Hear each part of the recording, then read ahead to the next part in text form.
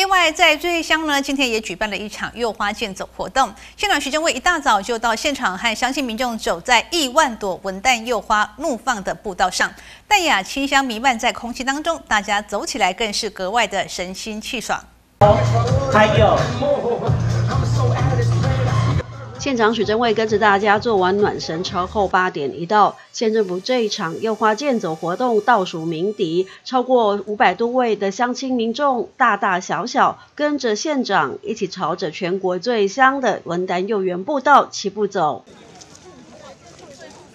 三月春暖花开，瑞穗乡六百公顷以上的文旦幼园，超过数一万朵的文旦柚花怒放，淡雅的清香弥漫整个瑞穗乡。健走人龙穿梭在文旦柚专区的农路小道上，个个直呼香气迷人。香，要拍清楚一点啊！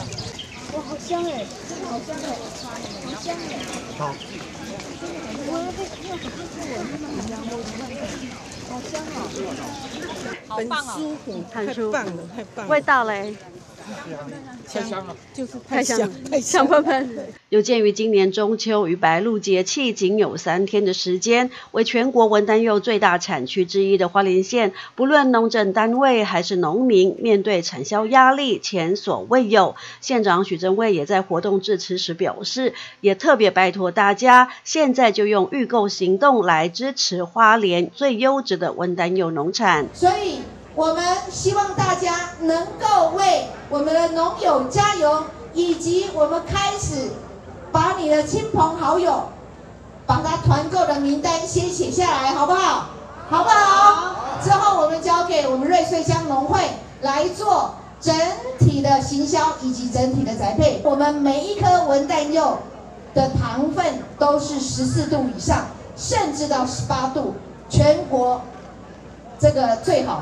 县政府到地方公所、农会，也从文旦柚花开的季节，就全力为今年八月份中秋文旦产季来展开推广促销。而在瑞穗柚花健走活动现场，不仅是有各机关单位政令宣导、兑换礼品以及摸彩活动，与民同乐的县长许真卫更是加码提供两百箱的文旦柚给现场幸运的民众摸彩抽奖，支持推广花莲最优质的文旦。单有农产品。记者石玉兰对穗采访报道。